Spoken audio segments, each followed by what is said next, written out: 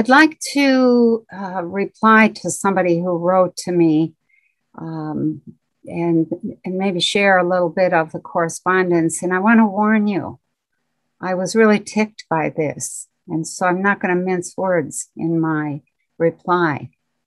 Okay. So someone uh, wrote and said, Are you still going to forward my questions to Kim?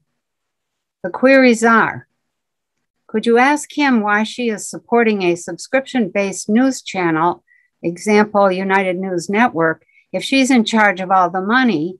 Why can't she just fund it herself? Isn't she allowed to use that money for good causes? Also, why does she promote health products in some of her interviews? Is she on commission? Surely she does not need to earn extra money from such ventures if she is in charge of all the money. Please also ask her if she is source sponsored. Or is it a lower ranked entity? Who are they and what is their ultimate aim for us here on the earth? Also, how does she expect us to fight back? If we had her powers of being able to kill somebody like Marduk, then yeah, we could fight back as it would be a level playing field.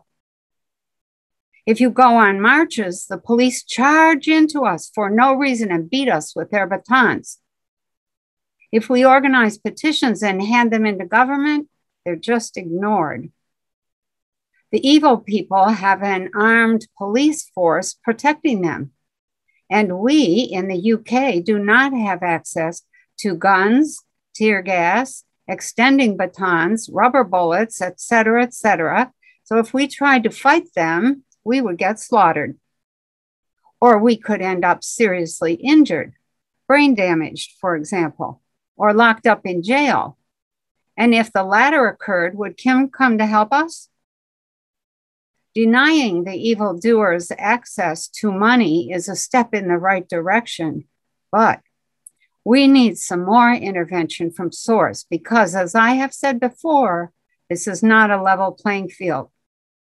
If we stood up against the system, we would have some drummed up charges placed on us, labeled by mainstream media as criminals, troublemakers, and locked up. Finally, why is Kim so worried about the five star generals not being paid by Trump? These people probably have really nice houses, which they could always sell and downsize if they are running out of money. The people on the earth in real trouble are the very poor in the third world and developing countries. They need a guaranteed income so that they can have a roof over their heads and food and drink on the table. Kim, Worry about the really poor first, please. Daphne writes back. She says, "Hi, um, we plan to do a Q&A on Kim. I still see our comment on the post. I guess Tony had complained that uh, his post had been removed or his comments had been removed. Um, and Daphne says, I still see the comments on the post. It's not been removed by YouTube, so don't worry about that. So then he writes back and he says, I think there's a misunderstand. All the comments are not missing, only my comments are missing because they have shadow banned my account, which means I can see the comments I made under Penny's video, but when I logged on as another user, the comments do not appear. Thus, I wanted to check whether Daphne had kept a record of the questions that I wish to be put forward to Penny when she interviews Kim next time. So then Daphne writes back and she says, just to be clear, Penny will answer your questions as they are very common questions that we've had repeatedly. They are good questions which could be easily addressed. They will not be related to Kim and Penny's talks. In other words, I'm not going to bring those up to Kim. And then she closes by saying, Does that work for you? So then he replies, Hi, I was hoping more for answers from Kim Goguen. A third party answering on her behalf is not the same. I assume you will not be asking the questions I mentioned when Penny interviews Kim next.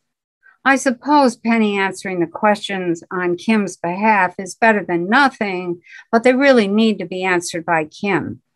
I am disappointed, so no, it doesn't work for me. And then he says, he goes on uh, to say, Daphne, asking, does that work for you is very rude. Are you really part of a spiritual organization? You don't seem very spiritual to me. And that is what ticked me off. Okay, so here is my response. This is Penny. Your response to Daphne was rude and insulting, and I think you owe her an apology. I can see why you've been shadow banned if that's the way you treat people. I am not going to ask Kim your questions because they reveal a serious level of immature misunderstanding around money and power. You seem to think that just because someone has money or power, they can do whatever they want. Is that how you would behave? Have you forgotten what ethics are? What honor is? Have you forgotten what it is to hold principles of goodness and truth? Are you so jaded and so cynical that you can no longer grasp what is possible when people stand up for what is right? The people of Earth have all been witnesses to the misbehavior of governments and politicians who promise the world.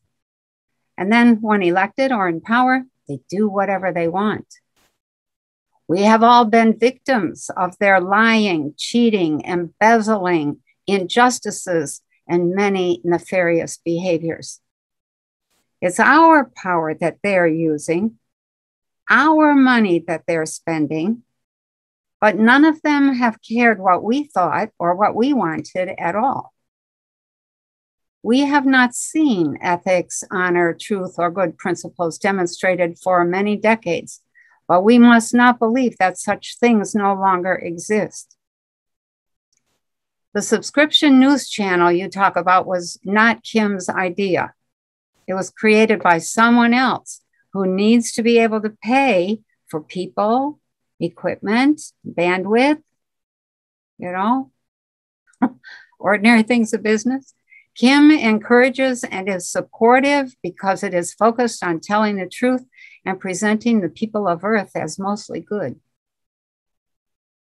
As for the supplements, this is a matter of common sense. Why do you suppose anyone would be supportive of health products? Might it be that she and anyone else who's paying attention can recognize the severe degeneration happening among our people? I doubt that she gets a commission. But even if she did, so what? We cannot have a peaceful world when people are irritable, fatigued, suffering from high levels of inflammation, foggy perception, disease, and an inability to generate the energy needed for healing. All of these conditions are the result of poor health caused by lack of sufficient nutrition, all of which leads to chronic impatience, rage, and eventually war. What makes you think Kim should be handing out money? Are you a socialist? Handouts that make people believe that someone's out there who will take care of them do us a huge disservice because it leads people to believe that they do not need to take responsibility for themselves. This causes arrested development. And the evolution of consciousness slows drastically, also eroding our natural inner authority. Kim does have her hand firmly on the controls of the financial system, but beyond that, she cannot do anything more without cooperation from the people, the banks, the businesses, the corporations, etc. She has offered to work with the existing banks, but they have to sign a contract to loan money only for projects that restore the planet, make the world a better place, nurture humanity, bring forth new and less damaging inventions and similar goals. So far, the banks have refused to work with her. The situation is a standoff. The bottom line for everyone is that we all need one another. Kim is doing her part. Are you doing yours? Your question asking if Kim is source sponsored made me laugh out loud. Really? Is this how you think? We are all made of source. Kim is where she is because she happened to be pursuing ways to make the world a better place. She saw an opportunity to make a difference and she took it, only discovering later that she had bitten off quite a chunk to chew. She was not chosen as so many people seem to think. She was not placed in the position she's in by any lower entities. And since most people cannot wrap their minds around the fact that she is working with off planet equipment and people, it's best to leave the subject of Marduk alone until people are more ready to deal with OPs. In other words, oh, OPs are other people or off planet people. You complained. If you go on marches, the police charge into us for no reason and beat us with their batons. If we organize petitions and hand them into government, they are just ignored. If we try to fight them, we get slaughtered. So let me ask you why would anyone with no guns, no batons, no bullets, no tear gas go off to fight such weapons? Duh. Is that the only way you can think of to fight? If that's the best you can do, well, you're right. You'll just get slaughtered. It's actually the stupidity that gets slaughtered. Unfortunately, the human is collateral damage in that fight. I am hearing quite a few people say, it's time to get our guns and stand up. And my response is, no, it's time to sit down and shut up. Not a peep. Not a single person going to the grocery store, the drugstore, the deli, the gas station, the movies, the pub, the restaurant, the bank, or even to the job. No phone calls, no internet activity, no money spent or received, no transactions of any kind. The cabal has no power unless we give it to them. By engaging in all of these activities day after day, we are giving them our power. Power is consciousness in motion. Everything consciousness focuses on expands and grows. Pull your attention away and focus away from everything that the cabal has set up to entrap you. No one's going to die if we don't go anywhere, if we don't eat, don't drink or shop or travel or do anything except sit still for a few days. No one's going to die except the cabal, that is. In a week, it would all be over. Every single thing we do from day to day has been set up by the cabal. It's their framework. And I think it's time we all dropped out. Perhaps we should all have a sit down on November 1st and just get the bloody job over with. Better yet, how about 11 11? Isn't that one of their special power days? What if we just turned the table on them? You ask why Kim is so worried about the five star generals not being paid by Trump. And you suggest they sell their houses and downsize if they're running out of money. How ridiculous.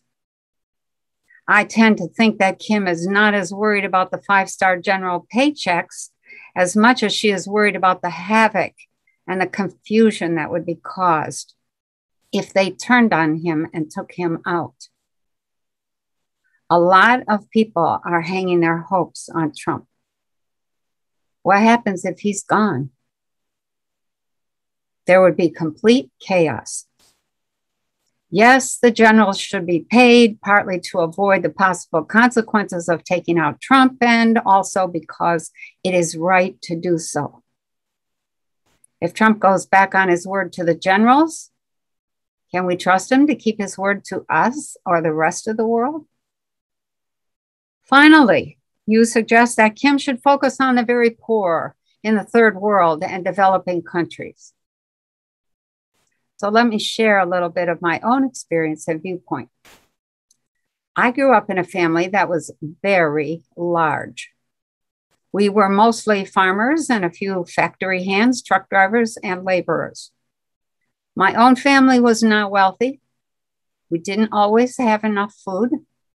We definitely didn't have shoes or clothes that fit, but we had a roof over our heads, some heat in the winter, and we worked hard to make, fix, and grow what we needed. What we did have was an abundance of love, laughter, a willingness to entertain ourselves, and pride in our self sufficiency. Many of those people you refer to as the very poor are not in as much trouble as the people of the Western world who think they need big houses, big cars, technology, fast foods, hovering parents, six different kinds of insurance, air conditioning, the latest fashions, a 401k, and fat bank accounts. If you think about it, how did people used to live before all these signs of development came along? How did we organize life before corporations took over? How did we heal ourselves? What did we eat? And what was the purpose of life before big government began encroaching on our rights, usurping our decisions, and corralling our freedoms? When the cabal goes down, life may become a bit chaotic for a while. But those people in third world countries will probably do much better than those in the first world countries who have forgotten how to survive without a government spoon in their mouths and up their rear.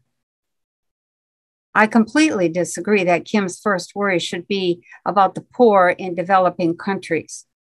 I think it should be right where it is, focused on holding the line, trying to get us to step back into managing our lives on behalf of ourselves, creating the structures and systems that work best for us, and getting us to recognize that we have a window of opportunity here. It's ours for the taking if we can just wake up enough to see the possibilities. If the poor go down, it's a tragedy. If we go down in Western civilizations, it's over for us and the poor. China steps in to pursue their wet dream of owning and controlling the entire planet.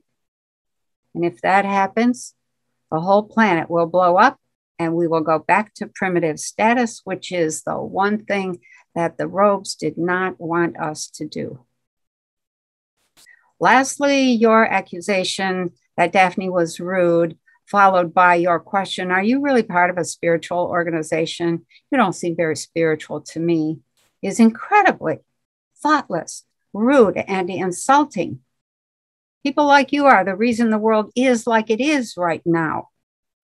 So, just for your information, this is not a spiritual organization. We are just a small group of people with an intense spirit of commitment to a better world and expanded consciousness. We are working to teach people about true spirituality so you can learn to nurture one another as human beings and still evolve into the joy of wisdom, grace, and power. Your comments are not nurturing. And you obviously have the idea that spirituality is something you put on in order to show off how pure and holier than thou you are. This is the same kind of hollow crap the politicians and bankers do. So don't expect that from me. I'm not in a popularity contest and I'm not competing for any Spiritual Seeker of the Year award. The reasons I bothered to answer you at all are two. One was to stand up for Daphne, who has worked her ass off for two years and doesn't deserve petty, baseless comments like that. If you can't be kind, then don't come around. The other reason is because I think it's important to be honest and real. And although your rudeness pissed me off, your questions were excellent. They were excellent examples of the degeneration in our thinking, and they demonstrate perfectly the kind of thinking we need to get beyond. So I'll close by saying thank you for writing. And I would suggest that it's time to grow up and show up in your own life. Thank you.